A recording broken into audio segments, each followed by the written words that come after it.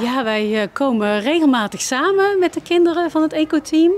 En uh, we vragen dan de kinderen, wat, wat vinden jullie nou belangrijk? Waar we als school aan gaan werken. En uh, dan komen er allerlei ideeën. En daar zoeken we dan iets van uit waar we denken, hé, hey, dat kunnen we met de school gaan aanpakken.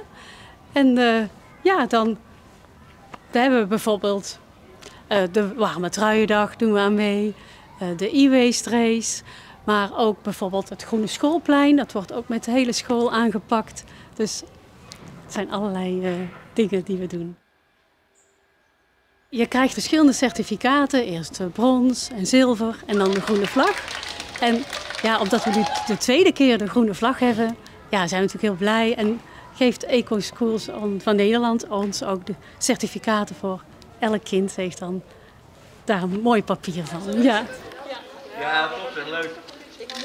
Ja, daar zijn we super trots op. De, de Eco-vlag is inderdaad de tweede groene vlag uh, die uh, Vrije School Meander uh, krijgt.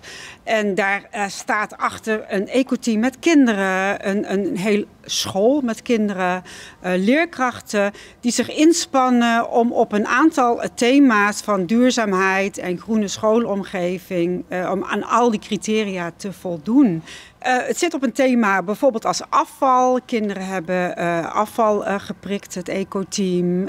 Um, het zit op het thema energie. Dus de kinderen hebben met ouders en omgeving een e-waste race gedaan. Dus vier weken lang inzamelen van apparaten. Warme truiendag. We hebben zonnepanelen. We hebben een groen plein. Um, ja, er wordt zoveel gedaan. Ik, ik, denk dat ik dan nog wel eventjes uh, tien minuten door kan praten. Duurzaamheid komt terug in alle aspecten op deze school. Dat begint al natuurlijk met het materiaal wat we op vrije school gebruiken. Het is altijd van natuurlijk materiaal, dus daar begint het al mee. Wij, ja, daar hechten we waarde aan. Uh, hout, bijenwas. Dus het begint al met het materiaal.